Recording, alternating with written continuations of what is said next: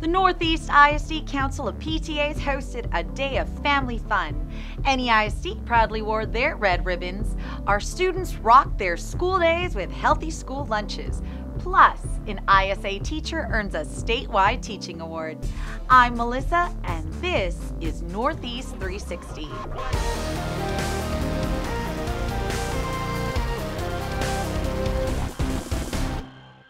Northeast ISD Council of PTAs hosted families to a day of health, wellness, and fun. The Back the Future Family Engagement event took place on Saturday, October the 28th at the Northeast Sports Park. Some of the free activities families were able to enjoy included a school spirit fun run, obstacle courses, a rock climbing wall, sports demos, mini clinics, and so much more.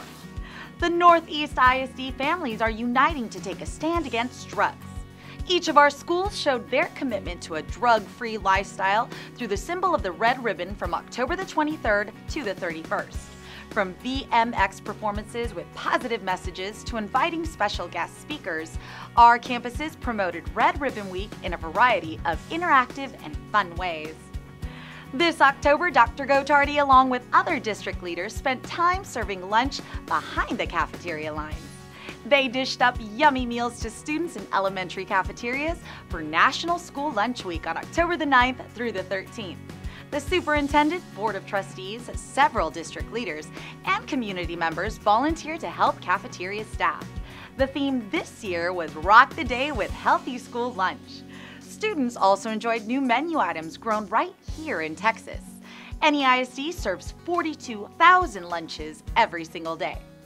Congratulations to Ryan Sprott of the International School of Americas, who was selected as a recipient of the 2017 James F. Veninga Outstanding Teaching of Humanities Award by Humanities Texas.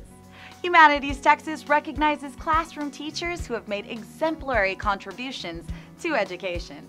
Mr. Sprott will receive $5,000 cash award with an additional $500 for ISA to purchase instructional materials. Way to go, Ryan! Here are some great events to look forward to this coming month.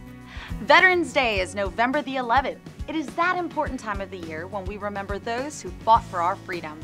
Check with your favorite campuses and find out what exciting things they have planned for our members of military.